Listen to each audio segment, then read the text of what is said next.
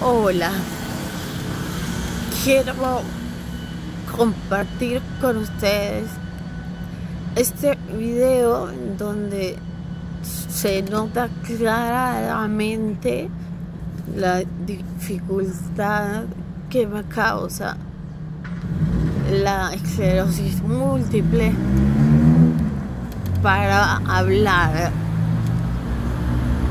a veces son horas, a veces son días, pero me pareció importante mostrar esta cara horrible de la enfermedad con una sonrisa.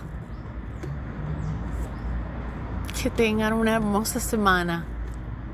hermosa semana. Lo, dije bien. Lo dije bien.